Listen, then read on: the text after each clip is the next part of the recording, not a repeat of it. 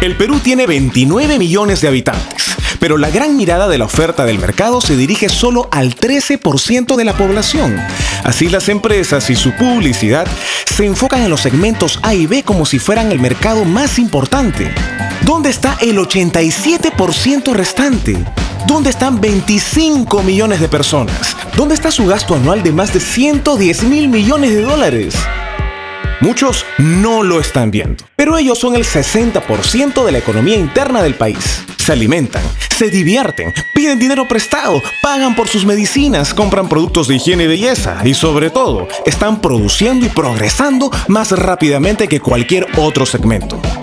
Ellos son la base de la pirámide, el motor del crecimiento y los que más están creciendo. Y solo los que les presten atención podrán sostenerse en el mercado. Los ignoran porque ignoran cómo son. Peor aún, muchos creen saber cómo son y no les prestan atención basados en sus prejuicios y mitos.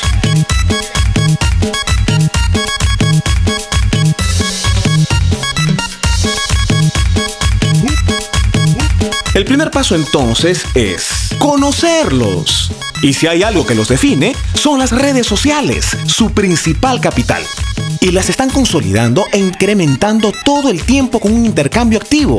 Celebran en red y solucionan sus problemas en red. Y muy importante, consumen en red. Mientras más grande la red y más fuertes sus vínculos, menos vulnerable está la familia. Conozcamos ahora en qué están gastando.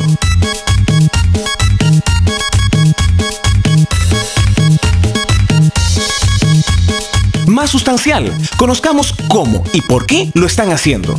La base de la pirámide no siempre elige lo más barato. No se pueden equivocar al momento de comprar. Por eso eligen la mejor relación costo-beneficio. Se adaptan perfectamente a las nuevas tecnologías. No solo poseen varios artículos electrónicos y electrodomésticos, su prioridad de compra está en la informática. La educación es un bien fundamental. Lo ven claramente como una vía para progresar. Lo demuestran y lo muestran. Es necesario crear productos y servicios innovadores enfocados específicamente en la base de la pirámide. Si no están bancarizados o no cuentan con los documentos tradicionales, el sistema les debe facilitar el ingreso. Si construyen paso a paso, los créditos y los materiales deben responder a esa lógica fraccionaria. Y crear comunicación eficiente y efectiva. Que tengan en cuenta su todavía bajo nivel de escolaridad. Que refleje su estética y sus códigos. Para hacer contacto. Contacto como consumidores. Contacto como distribuidores. Contacto como proveedores. Contacto con el sector de la economía menos explorado y con más posibilidades para la innovación y el crecimiento. Ellos están creciendo y cambiando rápidamente y las empresas que no logren hacer contacto ahora no podrán tener el liderazgo ni ser sostenibles en el futuro cercano.